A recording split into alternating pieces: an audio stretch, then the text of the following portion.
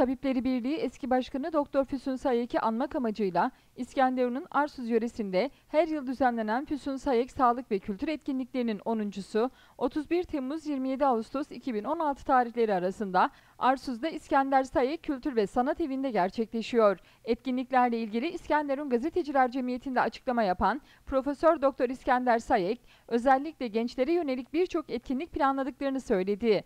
Profesör Doktor İskender Sayek şöyle konuştu. Boyutta etkilenmeyeceğimizi düşünüyorum.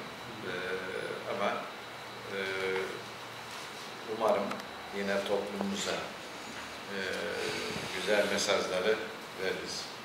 Ee, etkinliklerimizde bu yıl şöyle farklı bir şey yapmaya çalıştık. Gerçi geçen yıldan itibaren onu arttırmaya çalışıyoruz. Ee, yerel kültürü ve e, mozaiği nasıl daha çok temsil edebiliriz Hatay'la ilgili olarak. Ee, geçen yıl e, tarihte Hatay Devleti ile ilgili bir e, söyleşi yapmıştık ve de bir kalıcı bir sergi bulduk oraya kal- e, şeyle ilgili, Evet. e, Hatay Devleti ile ilgili. E, bu yıl ona bir ilavemiz var. O da şu, e, yine Hatay'ın bence önemli kültür şeylerinden birisi olan sabun dökme olayı. E, defne sabunu dökme şenliği yapacağız. E, Ayna Derneği ile İskenderun'da. E, ayrıca e, Edebiyatta Hatay diye bir sergi e, hazırladık. E, Hataylı şairler, Hataylı yazarlarla ilgili bir arkadaşımız bir çalışma yaptı. Bir e, Hataylı bir yazar, eğitimci ve 15 şair ve e, 16 hatta şimdi 16 oldu bir gün daha ekledi sonra 16 şair ve yazarın yaşamları, onlardan örnekler vererek e, bir sergi açıyoruz ve bir söyleşi olacak onunla ilgili olarak da. E, buna da bir şey daha ekledik aslında. Yine edebiyatta Hatay ağzı. Çünkü Hatay'ın biliyorsunuz kendine özgü bir ağzı var. Lehçesi var, lehçesi var. E, onunla ilgili olarak da bir Hataylı arkadaşımız yine. Ee, aynı söyleşide edebiyatta Hatay'la birlikte Hatay ağzını da şey yapacak. Ee, Hatay'la ilgili tabii tarım e, Hatay'ın şeyi olduğu için tarım sevgimiz var yine. Ee, dokuma şeyi olduğu için dokuma sevgimiz var. Hatay, yani Hatay kültürünü e, bir şekilde orada bir e, kent kültür merkezi gibi merkezine dönüştürme şeyindeyiz aslında. Her yılda bu gelişiyor gerçekten. Ee, onun yanı sıra konserlerimiz var. Ee, konserlerimizde yine Hataylı bir sanatçımız var. Ee, kendisi Ankara'da oturuyor ama e, Çağlar Sungur e, bir diş hekim arkadaşımız ama e, aynı zamanda şey de yapıyor, müzik yapıyor. Ee, o bir şey verecek, konser verecek. Ee, ayrıca Ahmet Kanneci bizim sanat danışmanımız, o gelecek. Tabii bu etkinliklerde bu yıl yine e, sürdürdüğümüz İGEV'le işbirliğiyle e, gençlere yönelik bir eğitsel, özellikle yüksek öğretim öğrencileri ve üniversiteye gidecek öğrenciler için e, bir e, sempozyum gibi bir eğitim şeyi hazırladık. Oraya da Emin Çapa geliyor. E, Emin Çapa'yı tanıyorsunuz hepiniz. CNN'de ekonomi programı yapan e, bir e, şey, çok değerli bir, bir gazeteci. O e, geleceğin e, sektörleri diye bir söyleşi yapacak gençlerle. E, onun yanı sıra da Türkiye Bilimler Akademisi üyesi olan e, iki arkadaşım, benim sınıf arkadaşlarım, e, yüksek öğretimde gelişim, öğrenci beklentileri gibi bir şeyle e, gençlere yönelik e, yine eğitim şeyler yapacağız o çalıştay içerisinde.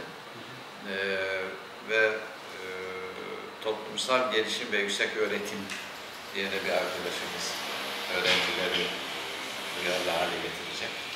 Yani gençlerin e, biraz önünü açacak, onlara bir ufuk yaratacak bir şeyler e, gibi görüyorum ben bu etkinlikleri. Geçen yıl inovasyon yapmıştım. İnovasyon öğrencilere Evet, evet.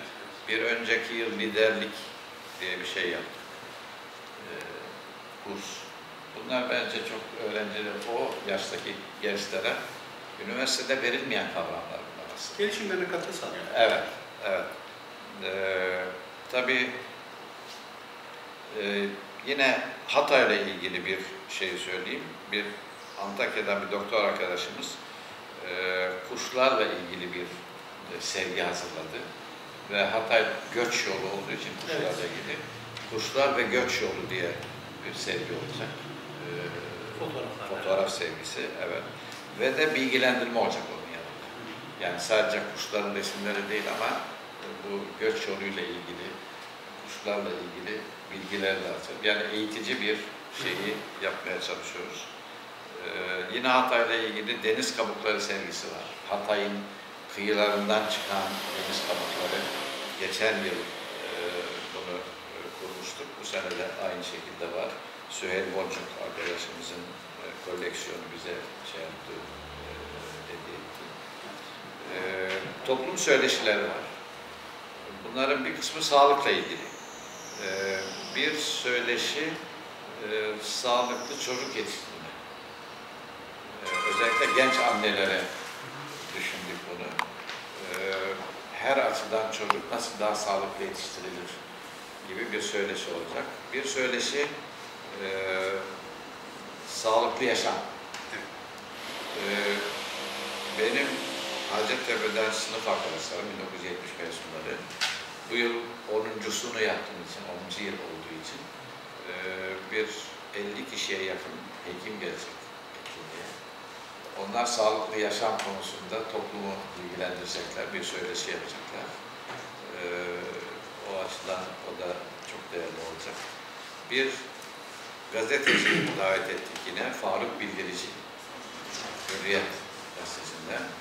Ee, o da böyle anılar şeklinde e, liderlerin seçim gezileri diye bir sohbet yapacak.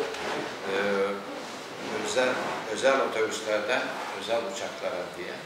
Şimdi artık özel Oradaki uçaklarla konuşmalar, evet. herhalde o yani anılar gibi e, bir şey aktaracak. Ee, sizin de ilginizi çeker diye düşünüyorum gazeteci olarak. Etkinlikleri, e, ha bir sergimiz de kadın mücadelesi ile ilgili Türk Tabipler Birliği'nin ve sınır tanımayan doktorların hazırladığı bir kadın mücadelesi sergisi var. Evet.